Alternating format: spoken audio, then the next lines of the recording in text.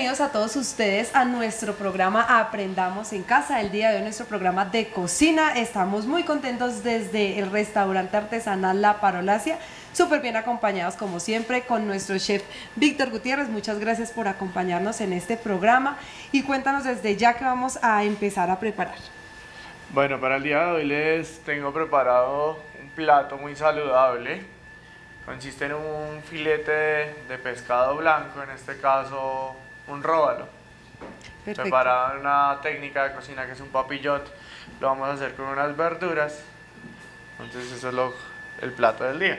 Perfecto. ¿Cuáles son los ingredientes que vamos a necesitar para que todos estemos súper pendientes desde nuestros hogares ya tomar nota? Bueno, para el papillot necesitamos eh, papel aluminio, necesitamos una papa previamente cocida, vamos a usar de vegetales, vamos a usar berenjena, zucchini amarillo, pimentón, champiñones, cebolla morada, unos vivos de naranja y, y cilantro para darle el aroma como hierba aromática y un chorro de, de vino blanco. Bueno, perfecto. Tengo una pregunta antes de que empecemos en cuanto a los ingredientes. ¿El vino que podemos utilizar es cualquiera según la preferencia de las personas en los hogares? Sí, sí, sí, un vino blanco de cocina. Bueno, el pescado que estamos viendo en este momento lo podemos conseguir fácilmente acá en Zipaquirá, así ya listo como lo, como lo tienes tú en ese momento. Sí, sí, sí, lo venden en cualquier pescadería. Pues nosotros tenemos una técnica de, de, de vacío, donde preservamos nuestros alimentos para que se mantengan frescos. Entonces, eso lo hacemos acá en el restaurante. Perfecto, es súper recomendable para todas las personas que nos están viendo que también de pronto utilicen esta técnica Es para preservar sus, sus alimentos. Perfecto, entonces ahora sí, manos a la obra con nuestra receta que se ve muy saludable, como decía nuestro chef, y que de verdad ya nos está antojando a todos. Bueno, entonces primero vamos a alistar las, las verduras. Vamos a hacer unos cortes. Perfecto, de pronto quiero también saber de un tip que nos des como chef para escoger unas buenas verduras. No, la idea de este plato es que sea muy saludable y, y tenga mucho color. Entonces por eso el- los tonos de los vegetales. Ves que tenemos amarillo, negro, rojo, para que visualmente sea muy... sea Muy llamativo. llamativo.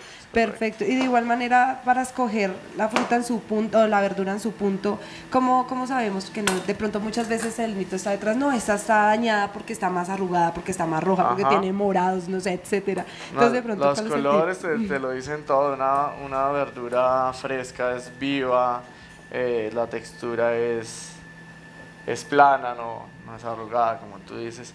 Para estos cortes los hacemos, pueden ser grandes, no necesitas tener cortes pequeñitos. Entonces, sí, es- es- así, así como estamos, vamos a, a- a arreglar todas nuestras verduras. Es correcto.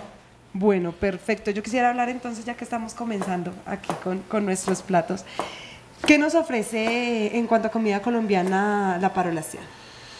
Bueno, eh, la Parolacia tiene una propuesta gastronómica de cocina colombiana. ¿Cómo se hizo?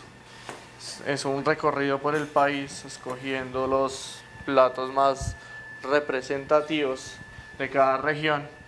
Entonces, por ejemplo, nos vamos al Caribe y tenemos una posta cartagenera, tenemos una,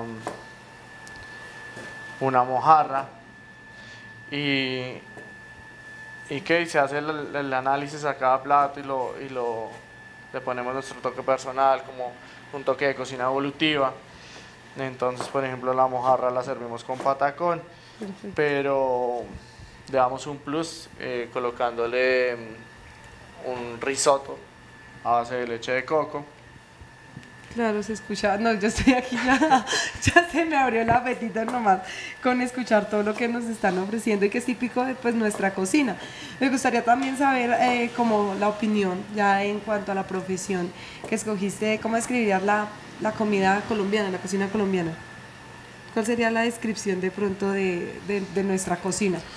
No, nosotros tenemos un grave problema a nivel cocina colombiana que no valoramos lo que tenemos. Tenemos Claro. un, un amplio, eh, ¿cómo te digo? Tenemos muchos ingredientes, tenemos muchas recetas y, y siempre nos inclinamos cuando sales a, a almorzar a algún restaurante, mismo. todo el mundo pues tiene la tendencia europea, tiene la tendencia de Estados Unidos a comer cosas que, que no son de nosotros. No digo que las, las técnicas no las usemos, porque Claro. por ejemplo esta técnica no es de nosotros, no es nuestra.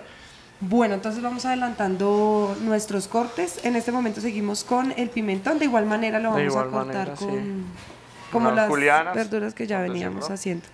Perfecto. Eh, existen tres tipos de pimentón hasta donde tengo entendido cuál es el, el objetivo, digamos, de cada uno. No, pues es las texturas, los sabores cambian, son niveles de maduración de la planta en realidad. Ah, no es que sea distinto, sino cuando está verde, cuando está amarillo, cuando está rojo. Es, el- es, la, es la misma verdura, sino que es la maduración en Ajá, diferentes es correcto. Bueno, nos queda clara una duda personal, por ejemplo.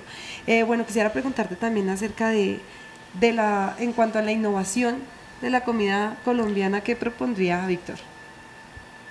Es lo que te venía diciendo, Catalina, la importancia que hay que darle al producto colombiano, consumirlo local, es, es importante. Entonces, como volver a esas recetas de, de abuela, de mamá, y darle nuestro valor agregado con las nuevas tendencias. Por ejemplo, acá nosotros lo, lo pasamos a planos de purés, eh, salsas Claro. propias, como salsas de uchuva, de tomate de árbol, tenemos una barbecue de guayaba. Entonces, es innovar con nuevas, con nuevas propuestas nuestra cocina colombiana. Perfecto, entonces mientras ustedes están muy juiciosos adelantando en sus hogares lo que es esta primera parte de nuestra receta que se escucha deliciosa, vamos a un pequeño corte comerciales y ya volvemos.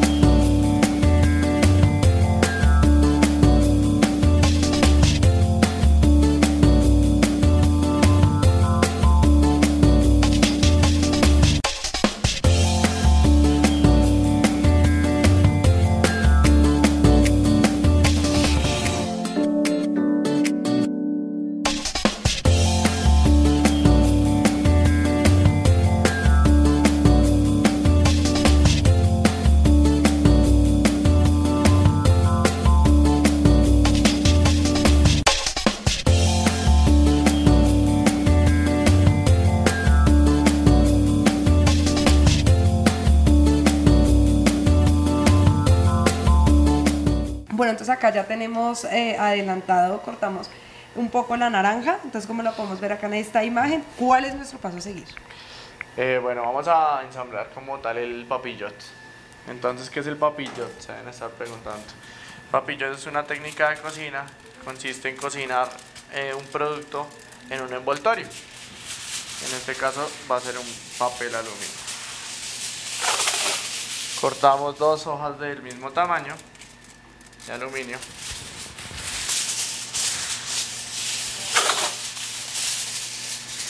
Perfecto. Quédate ahí. Permíteme.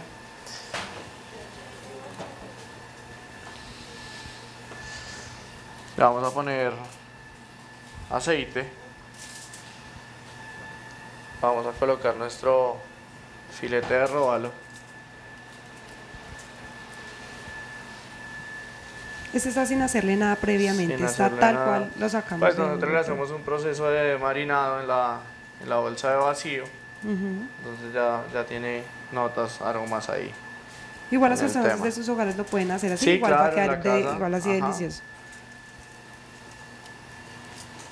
Bueno, tenemos unas papas alrededor o debajo, o sea mejor, más estructurado debajo. Ese es el objetivo principal de, de nuestro plato.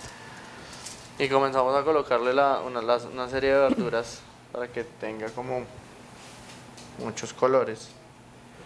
Perfecto, sin miedo. Esa es la porción más o menos eh, la que está aplicando acá nuestro chef, la que le está poniendo nuestra receta. Sí, no es ni muy ni, ni tanto ni tampoco. Esa es como la, la medida perfecta. Sí, sí, sí. Bueno, hablábamos un poco acerca de, los platos de comida colombiana y eso. ¿Qué más podemos encontrar en la, en la parolasia? Aparte de, toda la, parte ya de cocina con pescados y eso. Lo que te, como te venía contando, es un viaje por muchas zonas del país. Entonces ya te hablé de la costa caribe, también tenemos platos del Pacífico colombiano. Entonces tenemos, por ejemplo, una chuleta bayuna, eh, que es un lomo de cerdo apanado. Eh, tiene un arroz con maní, tiene una ensalada de guanábana. Entonces son interpretaciones personales de, de platos típicos, pero te Claro. digo de cambiar el chip y ir como evolucionando el Y tema. con sabores que de pronto uno no, Sí, no, no, tienes- es tan, sí, no son tan particulares Es correcto. de encontrar, entonces. Entonces aquí para nuestros papillos vamos a, a usar cilantro, que va a ser nuestra hierba aromática. Entonces se van a dar cuenta en el momento del emplatado, en el momento que llega el comensal, cuando destapas el papillo, eh, suelta muchos aromas.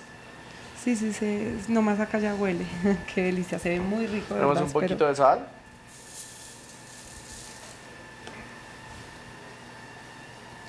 Y un pequeño chorro de vino blanco.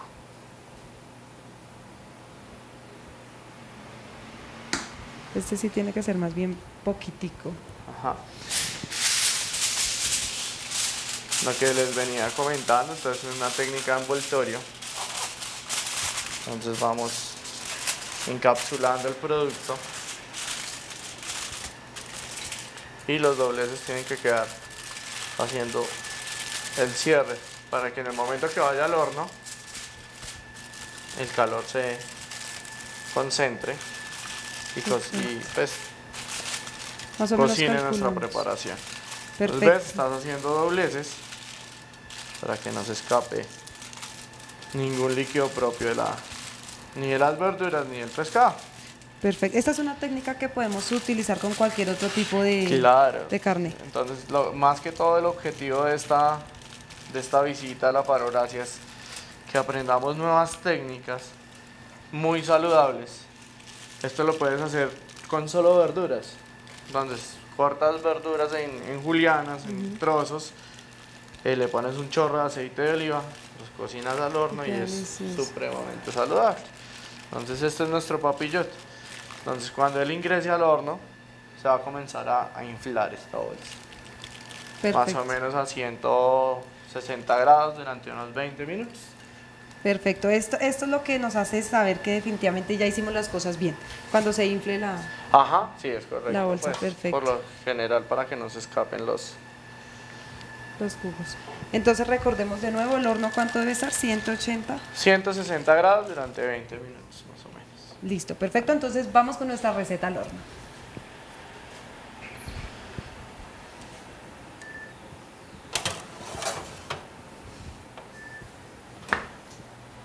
Bueno, acá en nuestro restaurante eh, manejamos un horno de convección que no nos, no nos deja superar la, la temperatura Máximo.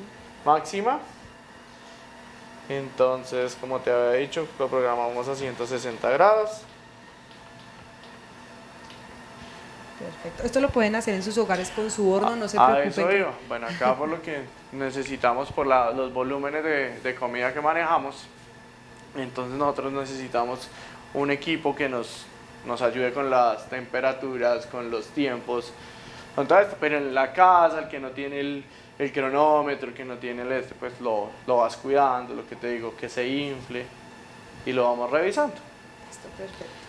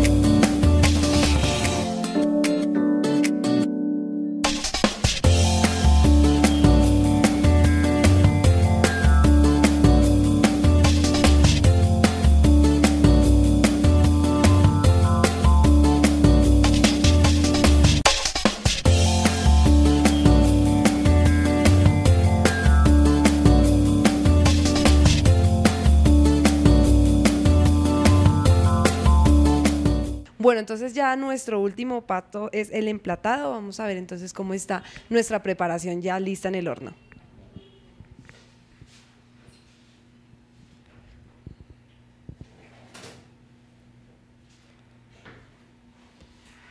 Como te venía contando que la bolsa se inflaba, ¿ves? Entonces ahí tenemos una... Eso es lo que nos dice que nuestra receta quedó bien. Sí, ya, ya está lista para consumir. Entonces este plato se presenta en el, en el papel. Hacemos una incisión y lo presentamos en el plato. Esa es la técnica de papillot. Ah, se lo podemos presentar así sin necesidad de quitarle el papel aluminio. Así sale. Perfecto. Con mucho cuidado porque sí debe estar súper caliente. Si se dan cuenta, mira los vapores, mira, toma los olores que comienzan a salir de este plato. Supremamente aromático, demasiado saludable, una proteína y verduras. Claro. Nos queda listo. Entonces, este es nuestro emplatado. ¿Nos aconsejas algún otro tipo de acompañamiento o algo? O así como está, está bien. Si desean alguna salsa como un tipo de, de mayonesa, una mayonesa de aguacate, una aioli, para darle como eh, más textura a la- al, al plato. Perfecto, entonces ya aquí tenemos nuestro plato terminado y nuestro paso a seguir es degustarlo. Bueno, entonces en este momento ya nos encontramos aquí listas para degustar el plato que acabamos de aprender todos en nuestros hogares. Recuerden, muy fácil y saludable. Y vamos a hablar entonces un poco acerca ya de la parolacia que ofrece, aparte del plato tan delicioso que aprendimos a hacer el día de hoy. Eh, bueno, primero que todo, gracias por, por tu visita, por acompañarnos. Espero te guste el plato que, que diseñamos para este programa. Y no, la parolacia los espera a todos. Con todo, hay una infinidad de platos colombianos. La idea es que vengan, los conozcan y los prueben. Perfecto. ¿Cuál es el horario de atención para todo el público? Eh, estamos de martes a jueves de 11 de la mañana a 10 de la noche. Y los fines de semana de 11 de la mañana a 1 de la mañana. ¿En dónde estamos ubicados? Estamos ubicados en la carrera sexta, número 168, en el centro histórico de la ciudad.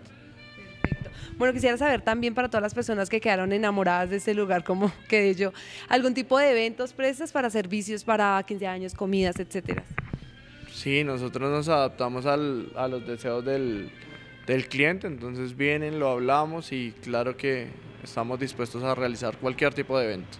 Perfecto. Quisiera hablar un poco de un evento que está ya por ocurrir y que es perfecto para todas las personas que quieran pasar un excelente rato con sus amigos, familia y que precisamente se va a llevar a cabo aquí en este restaurante La Parolacia. Cuéntanos un poco acerca de este evento que ya se nos viene. Bueno, pues como toda la comunidad zipaquireña tiene conocimiento, el viernes 5 de mayo tenemos un stand comedy, nuestro, nuestra noche de comedia, entonces los esperamos a partir de las 7 de la noche.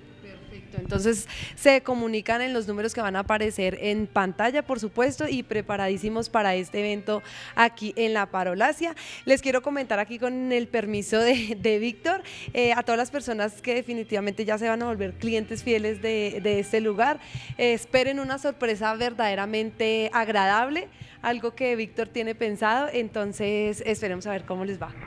Eh, sí, estamos próximos a la apertura de nuestra terraza, donde vamos a tener eh, música en vivo, DJs invitados los sábados en la noche, una carta de, de cócteles mm, eh, bastante buena, una propuesta que no la tiene la ciudad. Entonces a todos, bienvenidos. Esto es Parolacia Restaurante Artesanal y próximamente la terraza con la carta de licores. Perfecto, muchas gracias entonces de nuevo por acompañarnos en este programa Aprendamos en Casa. Yo los dejo porque definitivamente este olor me tiene matada. Gracias a todos ustedes de nuevo por acompañarnos en nuestro programa de cocina aquí en Aprendamos en Casa.